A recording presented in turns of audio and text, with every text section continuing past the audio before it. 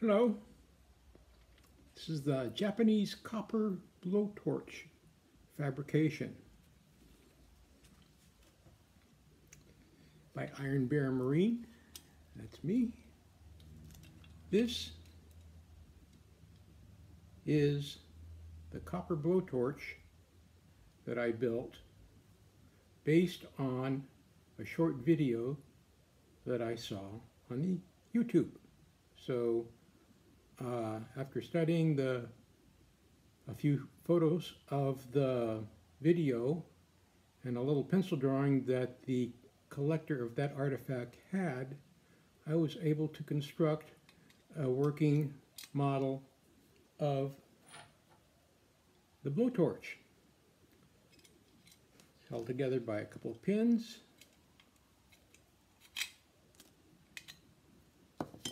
So the main body of the blowtorch is a reservoir which holds the alcohol and I'm using uh, copper or uh, cotton wicking material. Fill it up here light it here. This is the jet body. It is basically a saddle tank that is filled up with alcohol and you'll see here, let's see if we can get that. A little tube is sticking down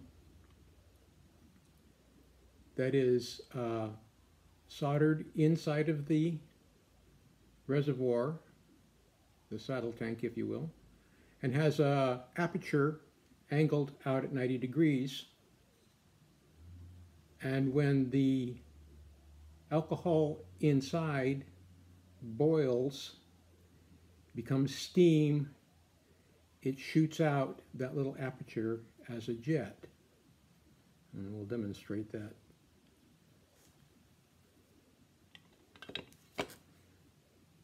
So there it is right there. My copy of a Japanese blowtorch. And then we'll see how it goes. We'll start construction using 22 gauge copper sheet and I will start laying out the alcohol reservoir or the main body of the torch. Okay, here we go.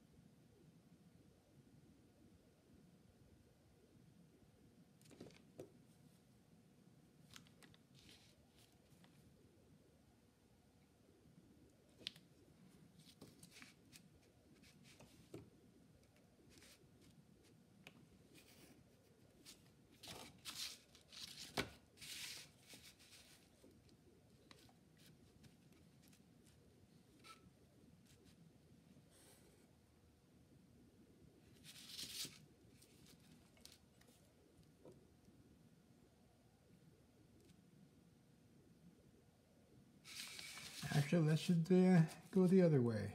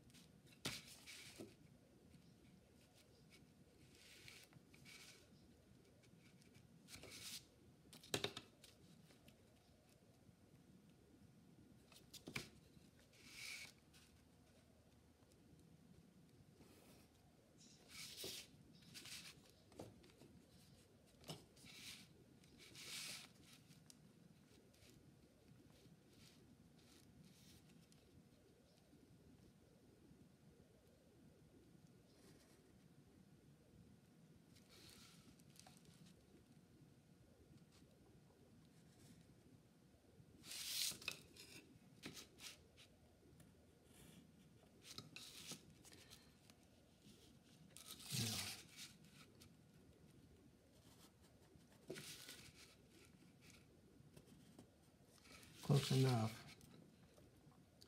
So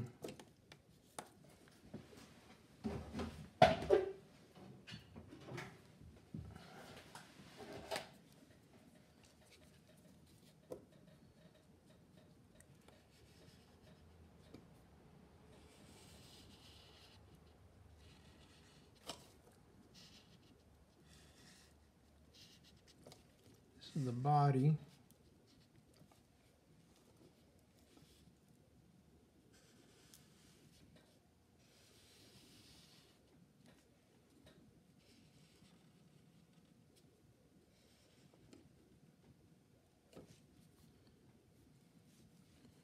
So what happens is this will get cut out and bent. The uh, extra quarter inch here goes to this bottom plate and is equal to the distance between here and here so that when this is bent up it'll match that point there to that point there. And this will get traced onto the copper and then I will bend it into place.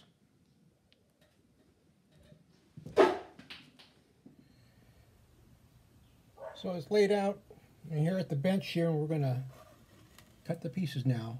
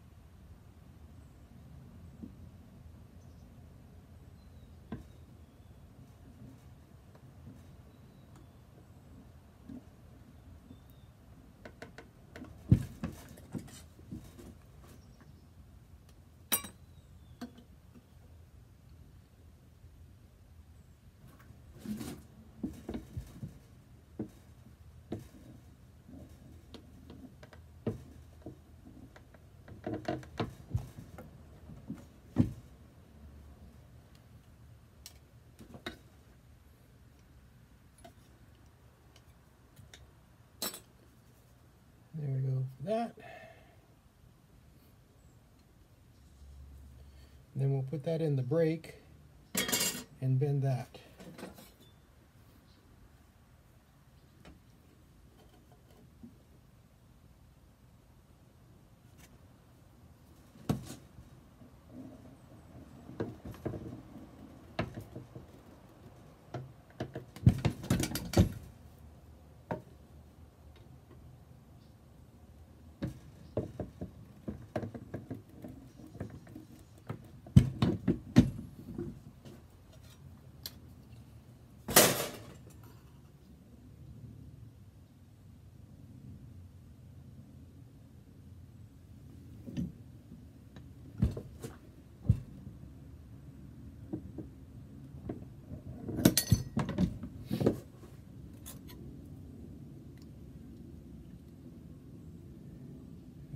Trim those off.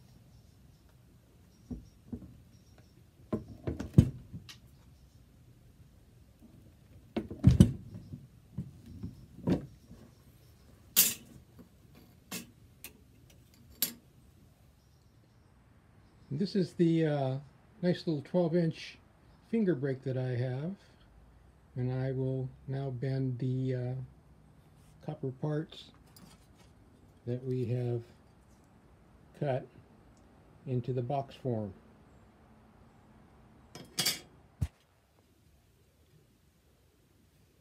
So I bent the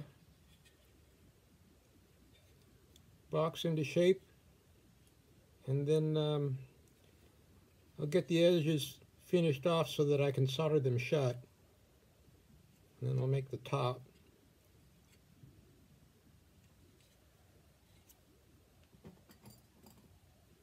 I've got the tabs here, which will be the ends of the tanks. I'll need to cut in for the saddle. Do that in the in the workbench. Right, so here we are. Got the little box bent up. That's looking pretty good. Then I'm going to uh, do some tapping with a little wooden block and get all the edges all fitted close together where I can then silver solder them. Might require a little extra filing and whatnot to get the fit right.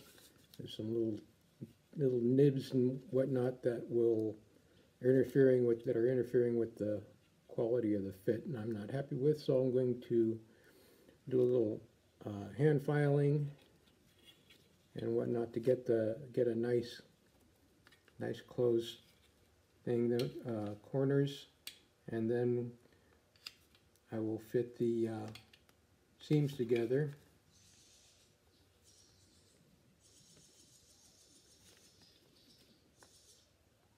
and uh, have that. I also need to make the top for that, which I'm laid out for, and uh, that will require the use of uh, a drill and a jeweler saw to uh, make the apertures that you see here. I just uh, opened a little round hole and uh, made a sort of a bean-shaped elongated hole and then to keep the top rigid I uh, soldered on little brass rings so it wouldn't oil can or flex on me.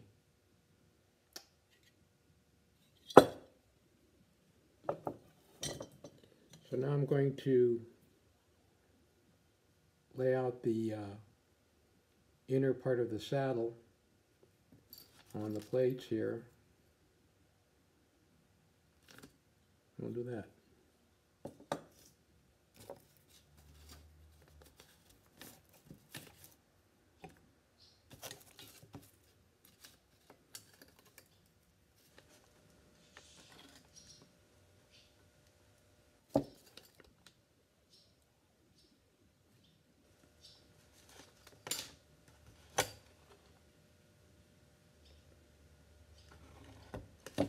And I'll lay out the one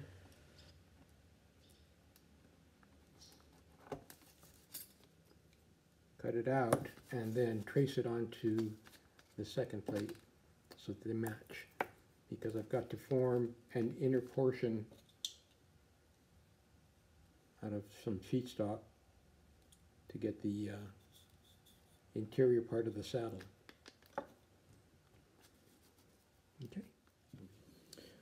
So sometimes I forget how many tools I have, and I realized that I had a nice Pexto hole punch.